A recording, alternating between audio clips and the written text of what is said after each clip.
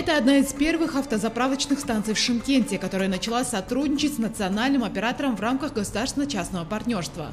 Компания «Казмунайгаз» будет обеспечивать ее своими нефтепродуктами. Небольшим сетям автозаправочных станций выживать на рынке все сложнее. Конкуренция становится жестче. Нет уверенности в том, что сможем ли мы найти и доставить автозаправочные станции топливо. Сложно сказать, насколько сильно изменятся расходы на логистику и транспорт. Ведь это все дополнительным грузом ложится на плечи предпринимателей. И в такой неопределенной ситуации наше сотрудничество с брендом «Казногаз», участие в новом проекте государственно-частного партнерства снимает с нас эти проблемы.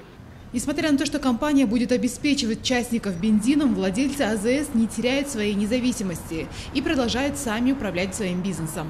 Правда, теперь им нужно поддерживать стандарты обслуживания, принятые национальным оператором.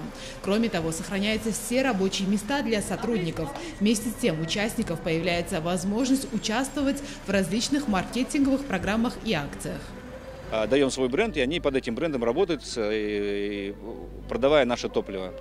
Для партнера, конечно же, это большая выгода. В первую очередь это, это наше качество, это наш бренд, это постоянное обеспечение топливом. Анализ мы не делали, как они продавали, но мы надеемся, что она будет продавать достаточно э, наравне с нашими заправками. Это порядка где-то 300 тонн в месяц. Вот, каждая станция будет продавать. Первыми участниками программы в 2016 году стали частные автозаправочные станции в Костанае и Приозерске. Теперь сеть АЗС «Казмунайгаз» дополнится еще 11 автозаправочными станциями в Шимкенте.